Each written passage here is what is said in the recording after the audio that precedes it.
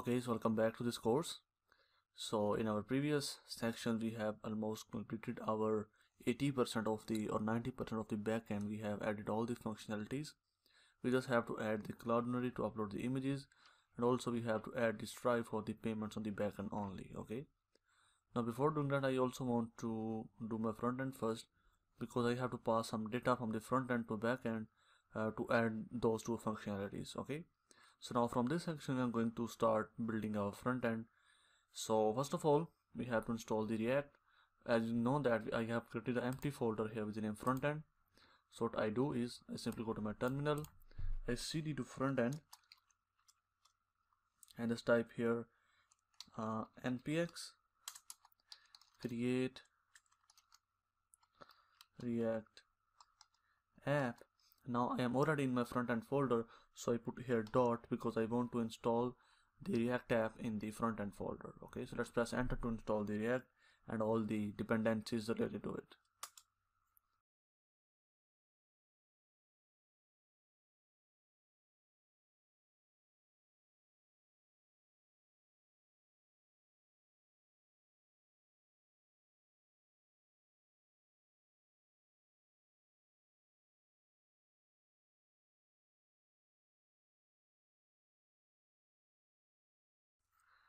okay so now our react is successfully installed. You can see in the front end we have a lot of files here.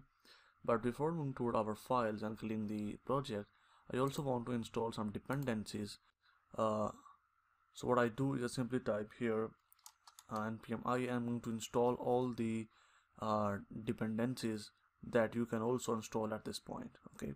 So first of all we have to install the axios because we have to send the request to the backend uh, so for that i'm going to use the axios okay? So you must need to install this. And after that let's also install the react dash alert. So react dash alert is a package that helps us to show the alert messages as you have seen in the demo video of this course. And also we have to install here react alert template basic okay so this is the package that we have to install with the react alert because this gives the template of the react alert. So axios and react alert then react alert template basic. Then let's also install the react bootstrap because we need uh, some uh, bootstrap components uh, in this project also okay? So you can also install react bootstrap. Then also we have to install the react helmet so react helmet is a package that help us to add the custom data to the page.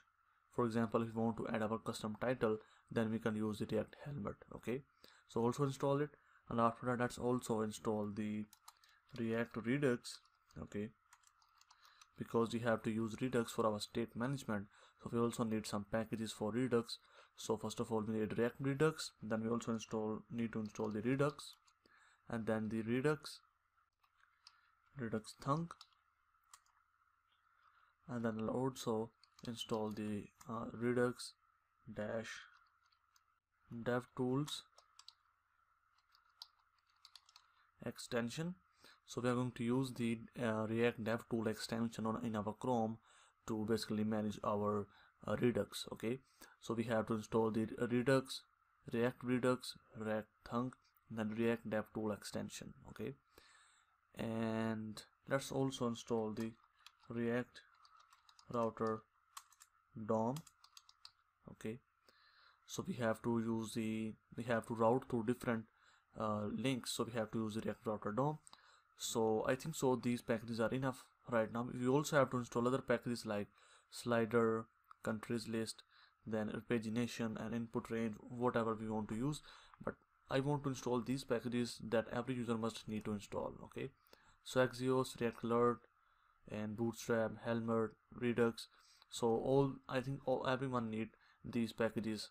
So press enter to install all these all these packages and then we will move on and clean our React project.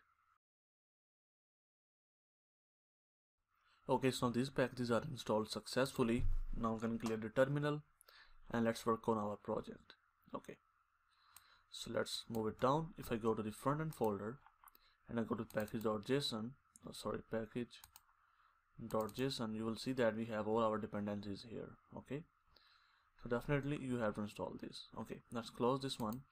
First of all let's go to our public folder and um, let's go to our index.html file. Let's clean this file first of all.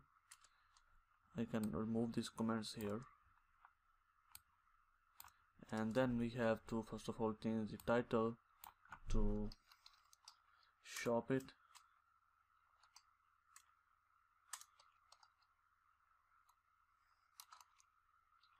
Complete e-commerce project okay? And I can also put in the description complete e-commerce site. Using MERN okay. So now after adding this we also have to add here the link to the font awesome uh, bootstrap. Also we have to add the javascript files for the bootstrap. Okay. So let me bring in those.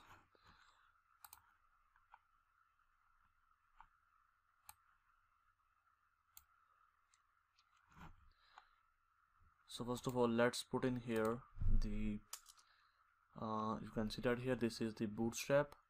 You can also use the react bootstrap uh, throughout this course.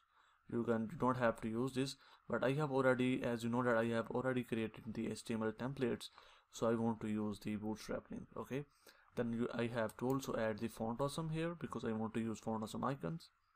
And then I also have imported here the font that I'm going to use is Amazon Ember okay so you can use this link to also uh, bring in the uh, this Amazon Ember font if you want to use. So bootstrap um, CSS file then the font of the CSS file then the font that is Amazon Ember and this is optional if you want to use or not.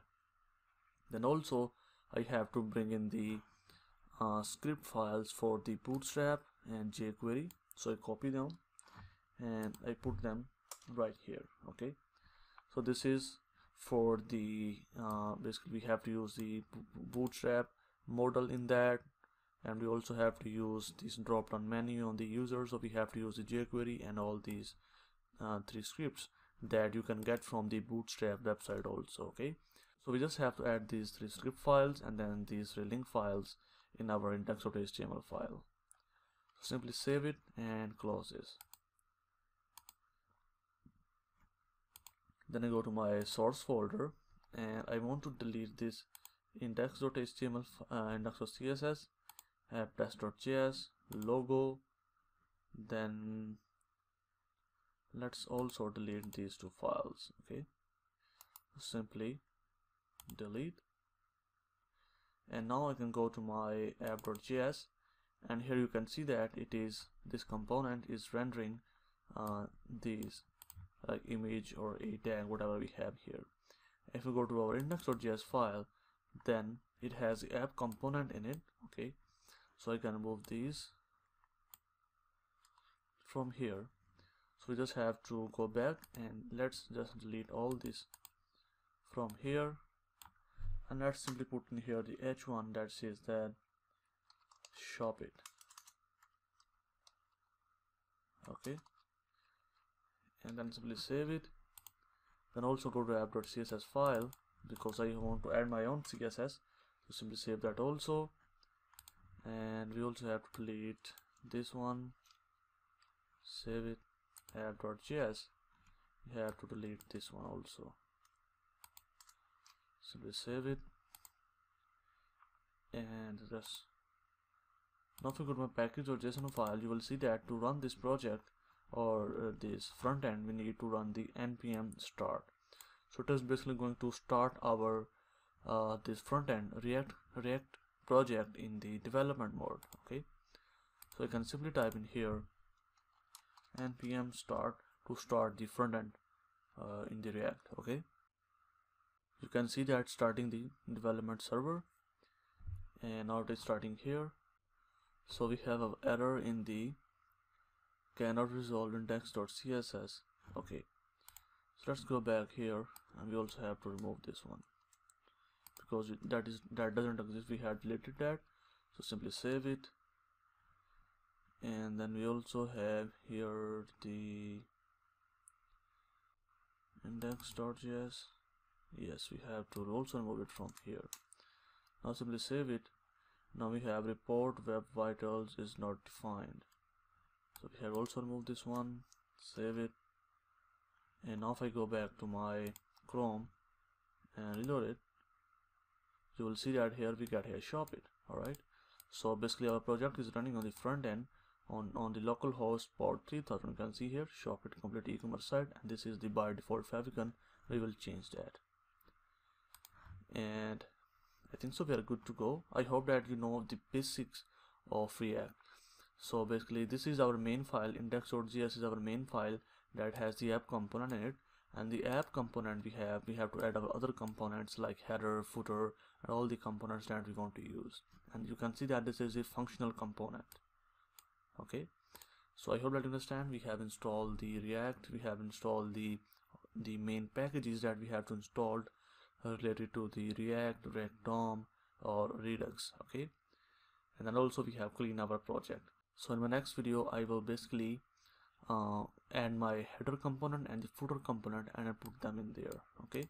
So I will see you in the next video